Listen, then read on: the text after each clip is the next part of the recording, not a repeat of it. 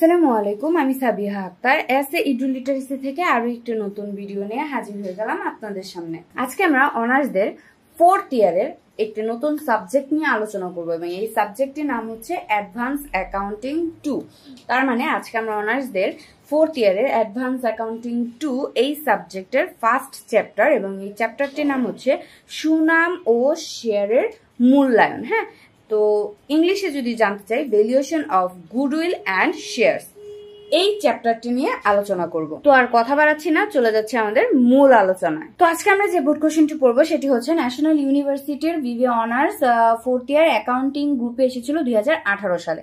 ওকে তো প্রশ্নটি পড়ে নিচ্ছি। The net profit of Shakib limited after providing for taxation for the past five years R four lakhs five lakh three lakh seven lakh eight lakh টাকা।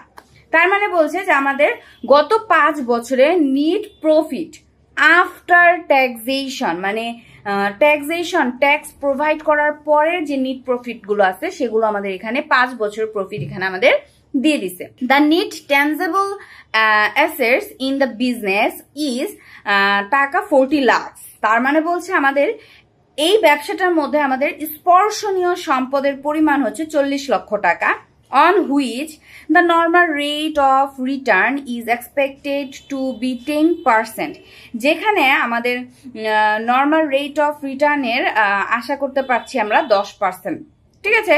তারপর বলছে it also it is also expected that এটা আরও আশা করতে পারছি যে মানে আশা করা যাচ্ছে যে the company will able able to maintain এর super profit for next five years এবং এই কোম্পানিটা মেনটেন করতে সক্ষম হবে super profit method for next five years পরবর্তী পাঁচ বছরে তারা সুপার প্রফিট মেথডটা ইউজ করতে বা মেনটেন করতে কি? পারবে। তার মানে আমাদের সুপার প্রফিট ক্যালকুলেশন করে দেখতে হবে যে সুপার প্রফিটে আমাদের গুডউইল কত আসে। আচ্ছা তো রিকোয়ারমেন্টে কি আছে দেখেন? Calculation the value of goodwill on the basis of three years purchase of super profit আমাদের তিন বছরের পারচেস মানে আমাদের পাঁচ বছরের যে হিসাবটা বা পাঁচ বছরের যে ইনভেস্টমেন্টটা সেটা কি আমাদের তিন বছরের পারচেজে উঠে আসবে কিনা? মানে তিন বছরে আমাদের ওই যে টাকাটা আমরা পাঁচ বছর বিনিয়োগ করব, সেটা কি আমাদের তিন বছর উঠে আসছে কিনা?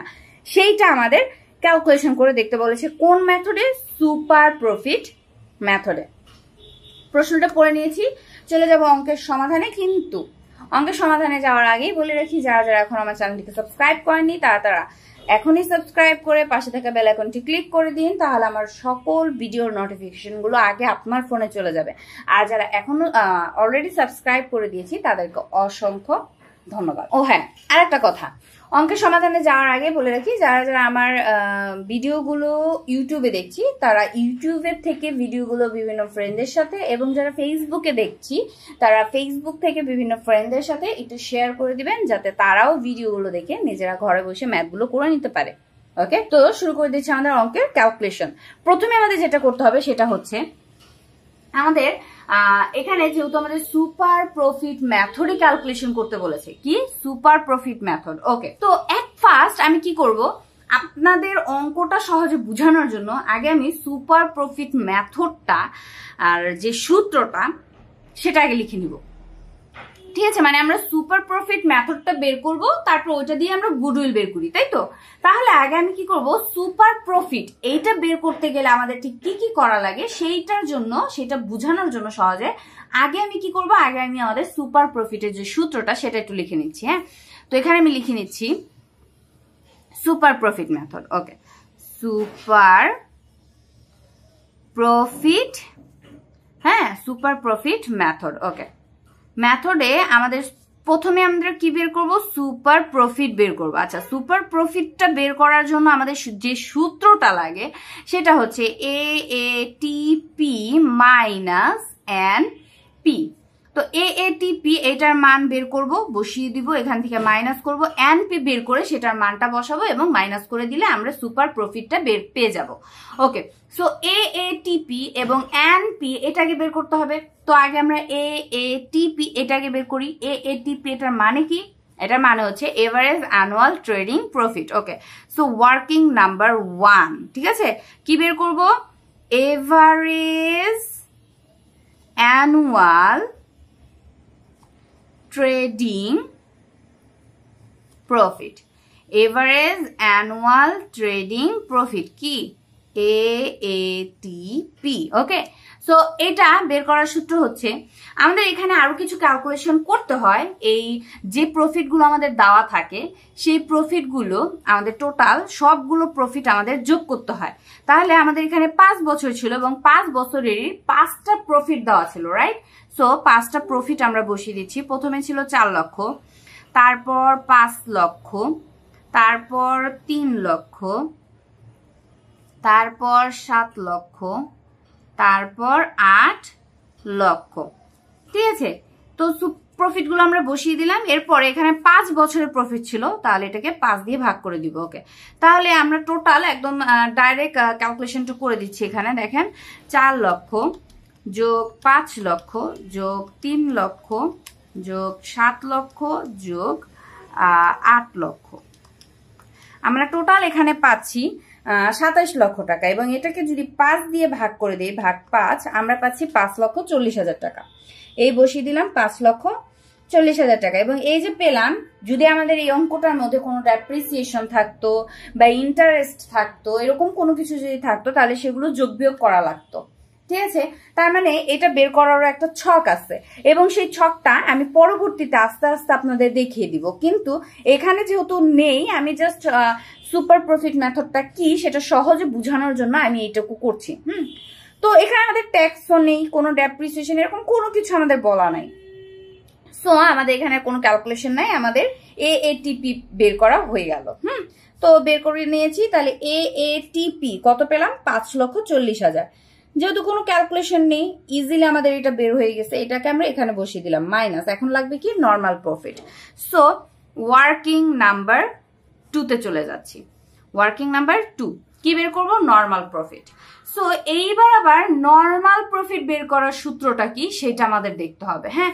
সো লিখে নিচ্ছি normal profit okay normal profit বের করার সূত্র হচ্ছে এ ও সরি আমি সংক্ষিপ্ত নামটা লিখি নাই। আচ্ছা এখানে লিখে দিচ্ছি এন পি হ্যাঁ equal A C E average capital employed এটার সাথে ইনটু করে দেব এন আর আর মানে normal rate of return okay so average capital employed এটার মানটা, মানেটা কি? এভারেজ ক্যাপিটাল এমপ্লয়েড এটা কি আমাদের এই অঙ্কে দেওয়া আছে নাকি নাই? ঠিক আছে, এই এভারেজ ক্যাপিটাল এমপ্লয়েড এটা বের করার জন্য আমাদের একটা ছক আছে। বাট এই অঙ্কের মধ্যে আমাদের সেই ছকটা লাগবে না। কেন লাগবে না? কারণ আমাদের এই অঙ্কের মধ্যে ওই ছকে যা যা থাকে বা যা যা করতে হয়, সেগুলোর কোনো কিছুই আমাদের এই অঙ্কে দেওয়া নেই। সো এখানে আমাদের যেহেতু ট্যানজিবল অ্যাসেটস এর পরিমাণটা বলে দিছে ডাইরেক্ট সো এখানে আর কোনো ক্যালকুলেশনের প্রয়োজন নাই। আমরা ডাইরেক্ট এ সিই এখানে আমাদের ওই যে যে চল্লিশ লক্ষ টাকা দেওয়া আছে সেটাকে বসিয়ে দিতে পারি। তাহলে এখানে বসিয়ে দিচ্ছি চল্লিশ লক্ষ টাকা। এবং এন আর আর এটাও আমাদের বের করার প্রয়োজন নাই, কারণ এই অঙ্কের মধ্যে আমাদের বের করে দিচ্ছে already rate of return normal rate of return কত? টেন পার্সেন্ট তাহলে কি আর ক্যালকুলেশনের প্রয়োজন আছে? নাই। সো এবার আমরা এটাকে যদি ক্যালকুলেশন করে দিই, চার লক্ষ ইন্টু টেন পার্সেন্ট আমরা পাবো চল্লিশ লক্ষ ইন্টু টেন পার্সেন্ট করলে আমরা পাচ্ছি চার লক্ষ টাকা। তাহলে এখানে আমরা বসিয়ে দিতে পারি চার লক্ষ টাকা। সো নর্মাল প্রফিটও আমাদের বের করা হয়ে গেছে। তাহলে বসিয়ে দিচ্ছে এখানে চার লক্ষ টাকা।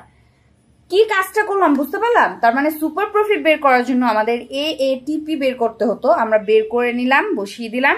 নর্মাল প্রফিট বের করতে হতো, বের করে এখানে বসিয়ে দিলাম ওকে সো এইবার পাঁচ লক্ষ চল্লিশ হাজার থেকে মাইনাস করে দিব চার লক্ষ, আমরা পাচ্ছি এক লক্ষ চল্লিশ হাজার টাকা। সুপার প্রফিট পেয়ে গেলাম? ওকে, এবার আমরা গুড উইলটা ক্যালকুলেশন করে নিচ্ছি। তাহলে লিখে নিচ্ছি গুড উইল। গুডউইলের ক্যালকুলেশনটা কীভাবে করব? সুপার প্রফিট, এটার সাথে গুণ করে দিব পারচেজ অফ ইয়ার্স হ্যাঁ? Purchase of years purchase short করে লিখলাম। তাহলে সুপার প্রফিট কত ছিল? এক লক্ষ চল্লিশ হাজার। এই বসিয়ে দিলাম এক লক্ষ চল্লিশ হাজার। হুম? এবং পারচেজ ইয়ার্স এর পরিমাণটা আমাদের এখানে দেওয়া আছে। দেখেন থ্রি ইয়ার্স পারচেজ তাহলে থ্রি দিয়ে গুণ করে দিব। তাহলে এক লক্ষ চল্লিশ হাজার গুণ থ্রি আমরা পাচ্ছি চার লক্ষ বিশ হাজার টাকা। বসিয়ে দিলাম চার লক্ষ বিশ হাজার টাকা। এই হয়ে গেল আমাদের গুড উইলের পরিমাণ বের করা। ঠিক আছে? তাহলে এই অঙ্কটার মধ্যে দেখেন তো ইজিলি বের করে নিতে পারলাম। আমাদের সুপার প্রফিট মেথড বের করে নিলাম এবং সুপার প্রফিট মেথডের জন্য আমাদের এএটিপি মানে এভারেজ অ্যানুয়াল ট্রেডিং প্রফিট লাগতো, সেটা বের করে নিয়েছি। নর্মাল প্রফিট লাগতো, সেটাও বের করে নিলাম। দুইটা দিয়ে ক্যালকুলেশন করে সুপার প্রফিটটা বের করলাম এবং সুপার প্রফিটটা দিয়ে আমরা শেষমেশ কি করলাম? গুড উইলের ক্যালকুলেশনটা করে নিলাম। বাস ইজিলি হয়ে গেল আমাদের সুপার প্রফিট মেথডে গুড উইল বের করা। ঠিক আছে? তো আজকের অঙ্কটা খুবই ছোট ছিল, এটাও খুবই ছোট অঙ্ক ছিল এবং খুবই খুবই সহজ ছিল আর খুব ইজিলি হয়ে গেছে, তাই না? সো আশা করি খুব সহজে বুঝতে পেরেছি। আমাদের যে মেথডগুলো ছিল, পাঁচটা মেথডের মধ্যে আমি দুইটা মেথড অলরেডি আলোচনা করে নিয়েছি এবং দুইটাই কি আমাদের বোর্ড কোশ্চেন আমাদের বোর্ডে এইভাবে এসেছিল এবং সেগুলো দিয়েই আমি কিন্তু আপনাদের করে দেখালাম। তো আজকে এই পর্যন্তই। পরবর্তীতে আবারও নতুন কোনো ভিডিও নিয়ে, নতুন কোনো অঙ্ক নিয়ে, নতুন কোনো সমস্যা নিয়ে চলে আসব। আপনাদের সকলের সামনে ততক্ষণ পর্যন্ত সবাই ভালো থাকেন, সুস্থ থাকেন। আল্লাহ হাফেজ।